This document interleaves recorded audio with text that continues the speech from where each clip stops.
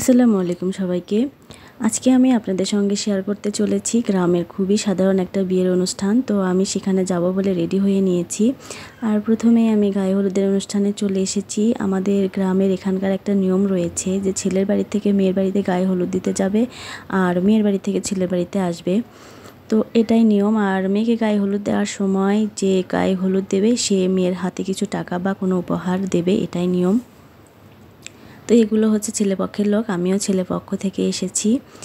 তো এখানে একটা দারুণ একটা টুইস্ট রয়েছে। তো গায়ে হলুদ দিতে দিতে থেকে একটা মুরগি মেয়ের মাথার ওপর উড়ে এসে জুড়ে বসবে।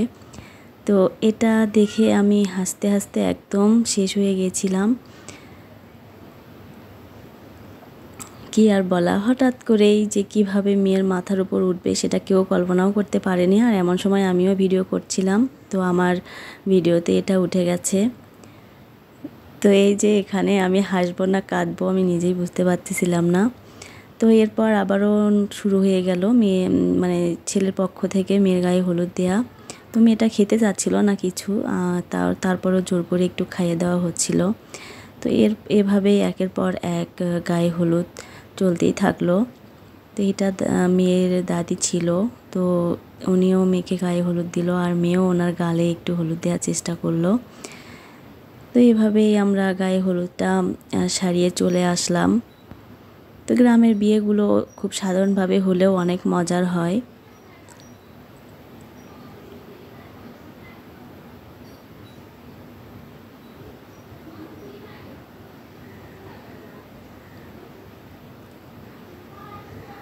তো দেখুন বন্ধুরা, গ্রামের বিয়েগুলো কীভাবে হয়।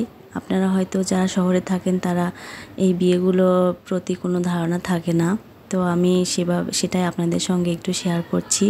হয়তো আপনাদের ভালোও লাগতে পারে।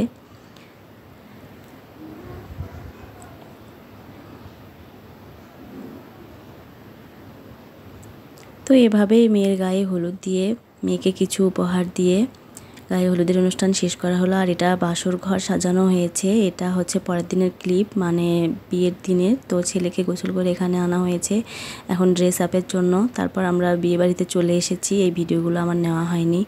তো এখানে পরে রাস্তা অবরোধ করে রেখেছে। তো ওদের চাহিদা পূরণ করলে তারপরে ওরা রাস্তা ছেড়ে দেবে।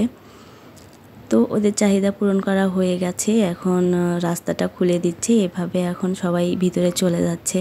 তো আমার সবগুলো ক্লিপ নেওয়া হয়নি এ টু জেড কারণ আমার ছোট বাচ্চা ছিল সাথে। বিয়ের সবগুলো ভিডিও নেওয়া হয়নি। ও কান্না করছিল।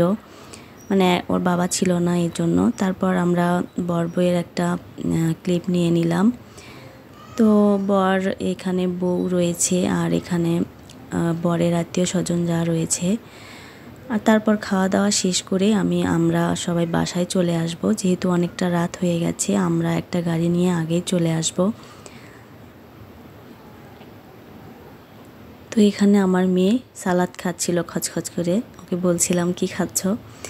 তো খাওয়া দাওয়া শেষ করে আমরা বাসার দিকে রওনা হয়েছি। আর ভিডিওটি এখানেই শেষ করছি। সবাই ভালো থাকবেন, সুস্থ থাকবেন। আল্লাহ হাফেজ।